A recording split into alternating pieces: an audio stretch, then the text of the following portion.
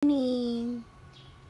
Good morning. Ayan na naman si Yuhaw nasa bintana. Nakasilip sa mga ibon.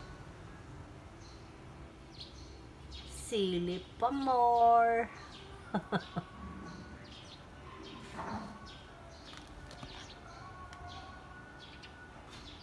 Uy, paano mo mahuli yan, oh? Nasa bubong. Talunin mo.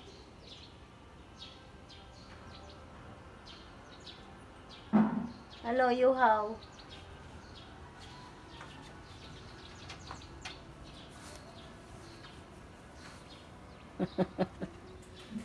Ayun oh, ang ibon oh. Paano mo mahuli yan? Yan, ang ibon. Ang dami. Ne. Nang aakit sa'yo, Yuhaw.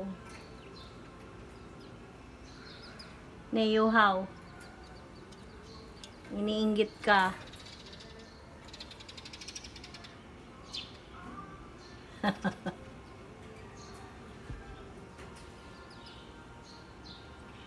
Hala, nag-anuhan sila.